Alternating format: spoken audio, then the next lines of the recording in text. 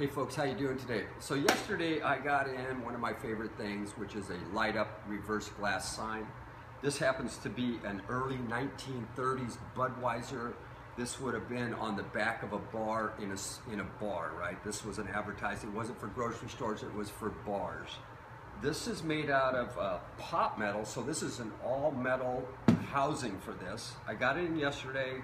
It only took me about an hour to do this. I knocked it down. It came in with no light. I went down to the local lighting place and bought me an LED light and I installed it in here.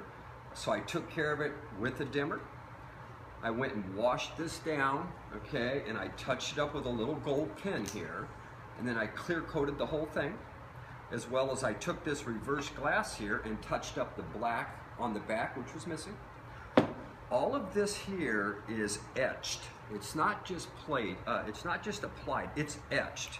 And this is all 24 karat gold here, okay? So this is gold and black. So what I'm gonna do here is I'm gonna put it together for you, and I'm gonna let you see what it looks like, okay? Uh, these things are absolutely beautiful. So I am gonna just stick this in here. This is the way it was in the 30s. I'm gonna turn this on. And Jeff, come on around and show them this. Uh, so this is an outstanding gold leaf etched metal back bar Budweiser light.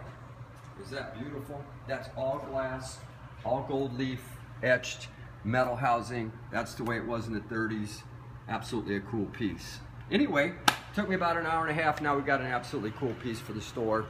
So anyway, we just thought we'd share that with you and thank you for your time.